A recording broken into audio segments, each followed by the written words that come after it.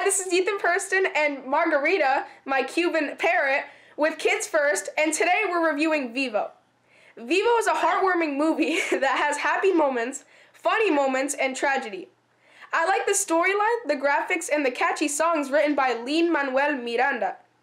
Vivo is a computer animated film about a kinkajou monkey who knows how to play instruments and performs at one of Habana's plazas in Cuba with his master Andreas Hernandez, an old musician.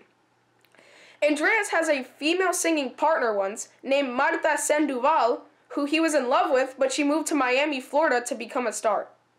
Marta is performing one last time because she is retiring. So she invites Andreas to perform with her for the last time as a duo.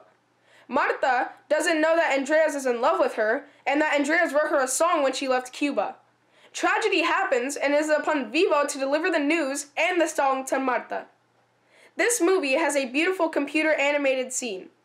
The backgrounds simulate the city of Habana in Cuba, Key West, and the Florida Everglades. The scenes are very colorful and bright. The songs are very catchy and appealing, and besides being the main character's voice, Lin-Manuel Miranda also wrote 11 songs for this film. He offered Cuban legend Gloria Estefan a part in this movie, and she had the opportunity to create her own character, which is a mix of Celia Cruz, another Cuban legend, and Miss Estefan's mother, who she described as a diva. This film has a stellar cast including Zoe Saldana from Guardians of the Galaxy as Rosa, Michael Rooker from The Walking Dead as the Snake Lutador, and Leslie David Baker from The Office.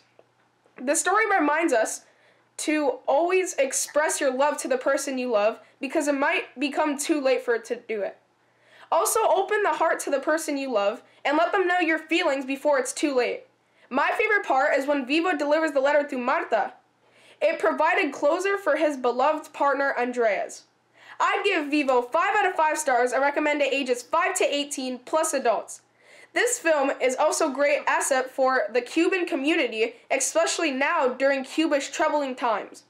Vivo is in theaters now and begins streaming on Netflix on August 6, 2021. Uh, this is Ethan Purston signing off. See you later.